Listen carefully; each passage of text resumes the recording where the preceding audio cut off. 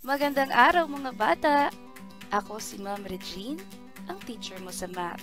Today we will be learning about measuring quantities. This is a lesson for grade 7 mathematics quarter 2 lesson 1 to 2. Kaya tara na and let's do the math. Measurement is a number that characterizes an object or event which can be compared with other objects or events. Meron tayong two known systems of measurement, pero bago pa tayo magkaroon yan, meron tayong tinatawag na non-standard system of measurement using the parts of the body. Non-standard kasi iba-iba siya, it varies from one person to another. Pwede natin gamitin ang mga sumusunod for non-standard system of measurement. Ito ang tinatawag natin na handspan or dangkal sa Tagalog. Yung kanyang measurement ay mula sa tip ng little finger hanggang sa tip ng thumb. Pag in-extend mo siya, yun ay ang ating handspan. Cubit naman ay mula sa ating elbow hanggang sa tip ng ating middle finger. Yun ang cubit. Stride or pace naman ay yung isang hakbang. Footspan ay yung isang talampakan yard ay mula sa center or middle of the body hanggang sa tip of the middle finger. Isang gamit nitong non-standard system of measurement ng yard na ito ay napapansin ko yung sa palengke pag bumibili ka ng mga garter. Napapansin ko na kapag walang measuring stick, yung isang tindahan, ang sukat nila per yarda ay ganito.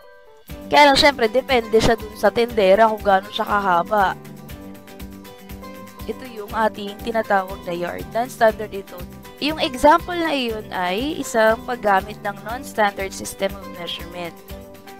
Para maging mas accurate ang ating measurement, dapat gagamit tayo ng measuring tools.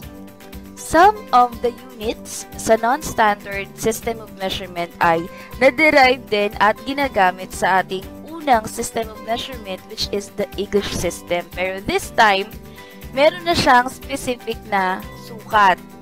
Tulad nitong yard, meron ding yard sa English system. Meron ding inch, meron ding foot.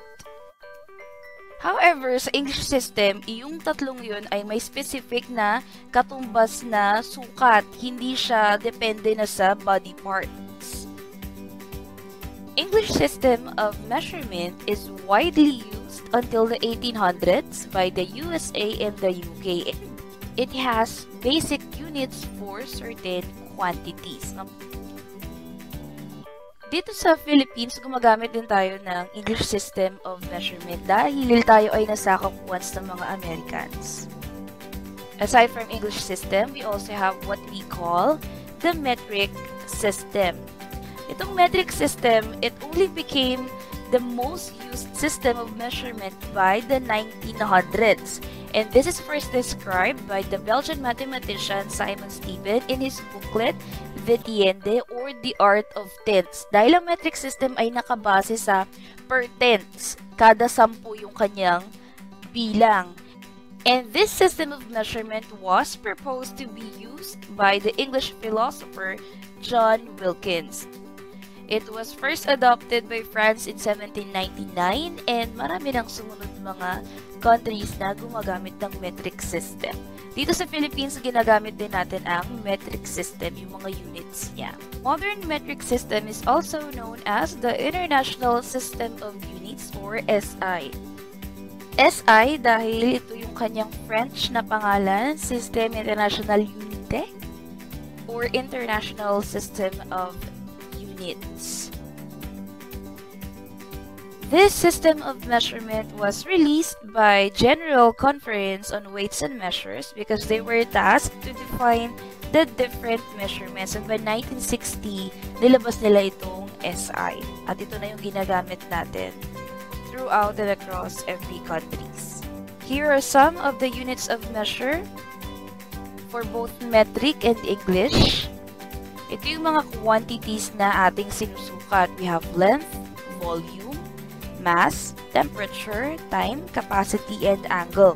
Meron silang mga units of measure sa metric and English. So for metric, yung length ay meron siyang meter and so on. Sa English, ito yung inch, foot, yard, mile, and so on. Marami pang iba.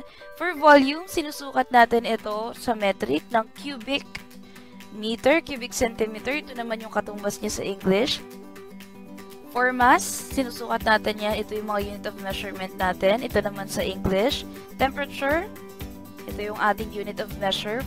For time, papansin natin na pareho yung ating unit of measure for both metric and English system. Capacity, more on liter kapag metric. Ito naman sa English.